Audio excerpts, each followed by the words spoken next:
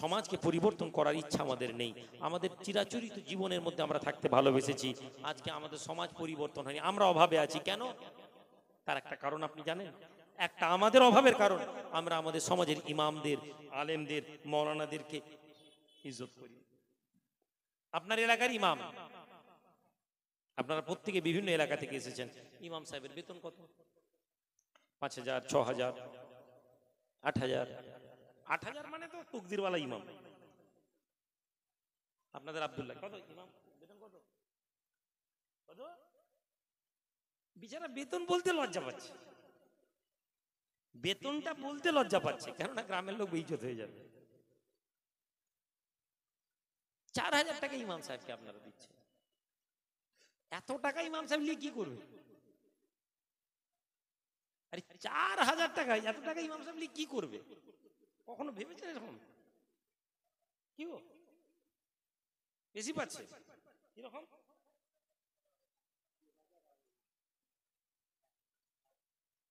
পাঁচশো করে চাল মাসে পড়ানোর জন্য। পড়ানোর পড়ানোটাও আপনাদের অ্যাডিশন আচ্ছা তাই হোক, ইমাম সাহেবের হিসাবটা, আপনাদের ইমাম, যেহেতু আপনাদের গ্রামে আছি, হিসাবটা করি। আমি সব জায়গায় আমার ওয়াজগুলো আশেপাশে শুনেন প্রত্যেক গ্রামে গিয়ে এখন একটা ইমাম সাহেব ধরছি। কেন ধরছি? রমজানের একটা ঘটনা আমার নজরে এসছে, এটা আমি শোনাচ্ছি এই জন্য। কত দেন? পাঁচশো টাকা করে? পাঁচশো করে চাল। কত কত কিলো চাল?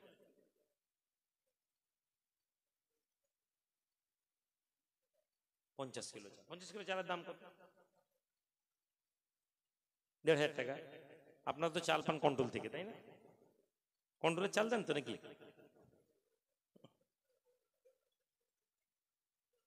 কত কোটিপতি ইমাম আমি দেখাচ্ছি। এই ইমামকে বলে নয়, আপনারা মনে করবেন নি শুধু আব্দুল্লাহ। আমরা হাসি, আপনি ময়নায় চলে যান, আপনি গোকুলনগরে চলে যান, শ্রীরামপুরে চলে সব জায়গায় একই গল্প। উনিশ বিশ, ওই তো বলছি আট হাজার মালা উনিশ বিশ। মাসাল্লাহ বারো হাজার কাদের গো? মার হাবা আল্লাহ বরকত দিক।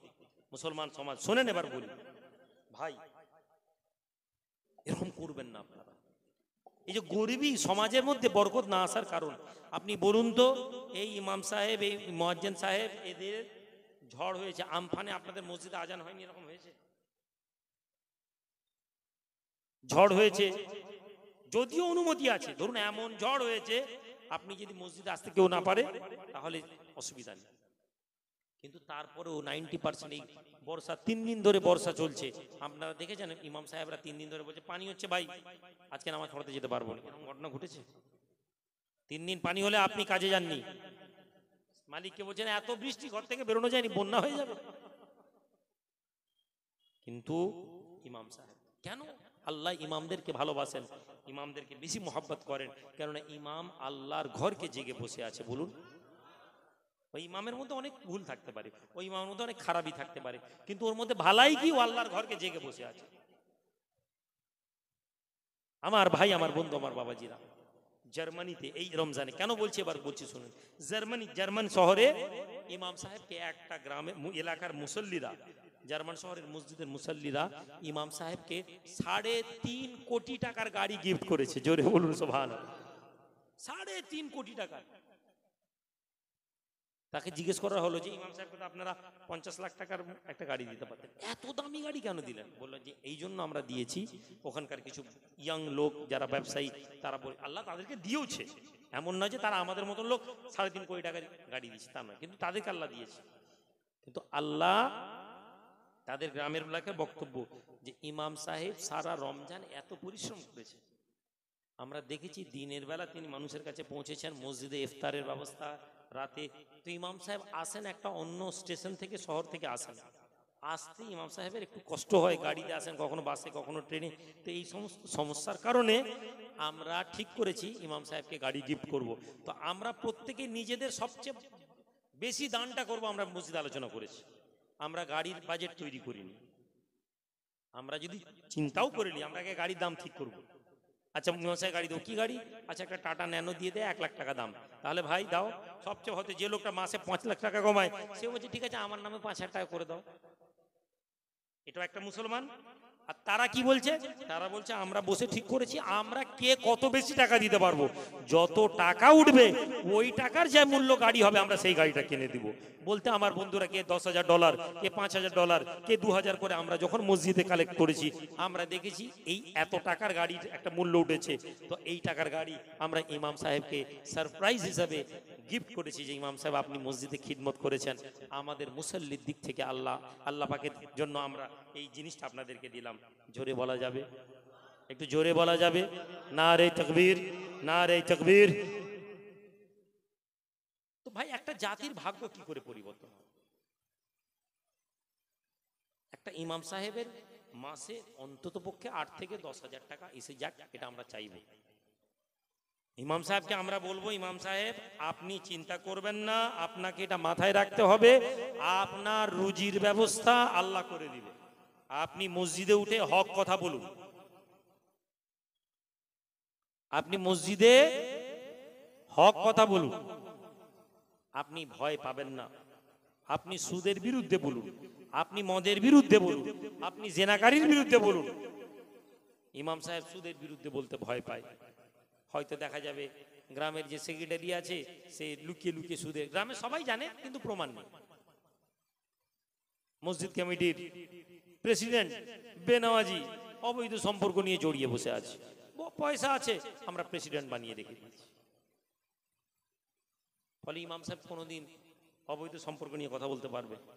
আমরা যুবক ছেলে যদি এটা ঠিক করি যে আমাদের ইমাম সাহেবকে আমরা হ, ইসলামের কথা বলুন আমরা বাকি বুঝে নিব। দেখবেন আপনার সমাজে আল্লাহ আপনাদেরকে বরকত দিচ্ছেন। এমন এক একটা গ্রাম আছে যেখানে গরিব মানুষ, গ্রাম ছোট, কিন্তু বাবাজি, সেই গ্রামে আল্লাহ বরকত দিয়েছে। সুতরাং আমি আপনাদেরকে এটা আবেদন করব, আপনাদের প্রত্যেকের ইমামকে এরকম আপনারা চেষ্টা করুন, তারা তিন কোটি টাকার গাড়ি দিতে পারে। আমরা মুসলমান ছেলে, আমরা মেদিনীপুরের মসজিদের ইমাম, আমাদের ইমাম সাহেবকে একটা পঞ্চাশ হাজার টাকা দিয়ে মোটরসাইকেল কিনে দিতে পারিনি? পারি। বলব কেন? হঠাৎ আমরা সারপ্রাইজ আমরা এটা ভাবতে পারিনি। আমরা মনে করি টুপিওয়ালা লোক, ইমাম সাহেব লোক, মৌলানা সাহেব লোক যেন কষ্টের মধ্যে থাকবে। এরা যত কষ্টে থাকবে যেন আহা, কত ভালো। ইমাম সাহেব যদি একটু চকচকে কাপড় পরে মোটরসাইকেল নিয়ে যায় ইমাম, কোথা থেকে দেখেছ? ক টাকা বেতন পাই এত, কীভাবে এত করছে? আপনি হিংসা করছেন আপনার ইমামে। আর আপনি তো কল্পনা করতে পারেননি যে আপনার ইমাম গাড়িতে করে নামবে, নেমে এসে মসজিদে নামাজ পড়াবে। এই স্বপ্ন আপনি জীবনে দেখতে পারেননি। কিন্তু আপনি যদি বিদেশে যান, আপনি যদি আরব রাষ্ট্রগুলো যান, আপনি যদি মধ্যপ্রাচ্যগুলো যান, সেখানে ইমামদের জন্য গাড়ি বরাদ্দ করা আছে। তো ভাই আমাদের রিস্ক বাড়াতে গেলে।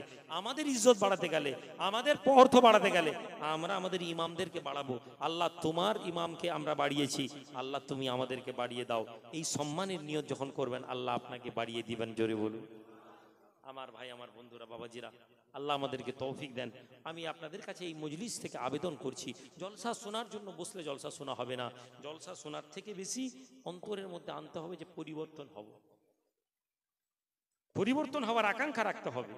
একজন যুবক ছেলে নিয়ত করবে, গুনাহ করব না। আপনি গুনাহ ছেড়ে দিন, আল্লাহ আপনার রুজি বাড়িয়ে দিবে।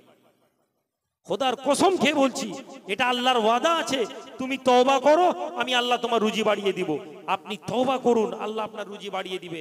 আল্লাহ নবীর কাছে একজন লোক এসে বলল, ইয়া রাসূলুল্লাহ, আমার রুজির অভাব আছে। বললেন, তুমি তওবা করো। কোরআনে আল্লাহ বলছেন, যারা তওবা করে, আমি আল্লাহ তাদের রুজি বাড়িয়ে দিই। তুমি তওবা করো, আল্লাহ তোমাকে পানি দিবেন। তুমি তওবা করো, আল্লাহ তোমাকে আওলাদ দিবেন। কোরআনের মধ্যে আল্লাহ সব ঘটনা কথাগুলো বলে দিয়েছেন। আমরা খালি বুদ্ধি খাটিয়ে মনে করছি টাকা কামাবো। আপনি কি জানেন কারুন কি বলেছিল? কারুনকে যখন বলা হলো, এই সম্পদ, সে বলল, আরে আমি তো আমার বুদ্ধি দিয়ে এই সম্পদ বানিয়েছি। আমার বুদ্ধি দিয়ে আমি এই সম্পদ বানিয়েছি। আল্লাহ কারুনকে কারুনের সম্পদকে জমিনে ধসিয়ে দিলেন। ওই সম্পদ নিয়ে সে ধসছে ধসছে ধসছে ধসছে। কেয়ামত পর্যন্ত সে ধসতে থাকবে নিচের দিকে। আর ইমানদার ব্যক্তি কি বলে? আল্লাহ আমার রুজির মালিক, আমি মেহনত করব, আল্লাহ রুজি দিবেন। ভাই, আল্লাহ পাকের কাছে আমরা শুক্রিয়া দা করি। আল্লাহ পাক কলম কাগজ নিয়ে আসেন।